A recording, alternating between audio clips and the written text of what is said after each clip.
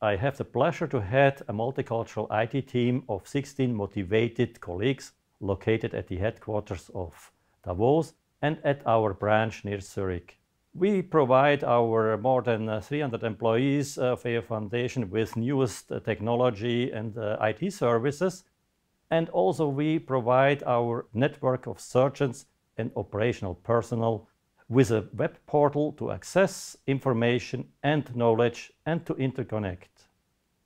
The IT services are provided by our four competence centers, infrastructure, applications, client and event support, and also we do some uh, software engineering within the uh, software engineering team. Apart from this, we have two functions, quality and security and operational procurement.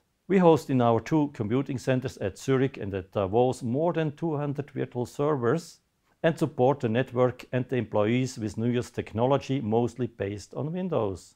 But apart from these Windows-based technologies, we also support some Linux servers and Macs and a growing number of mobile devices like iPhone and iTablets. The business applications range from Lotus Notes for email over the web portal based on SharePoint to the ERP system named Agresso from Unit 4. Let me tell you what attracts me personally to AO Foundation. This is the mission to improve healthcare. Then it's the international multicultural spirit, mixed generations from young to senior like me, and last but not least, AO Foundations offers you competitive employment conditions. In order to provide our customers up-to-date technology and best services, we have to learn and move constantly.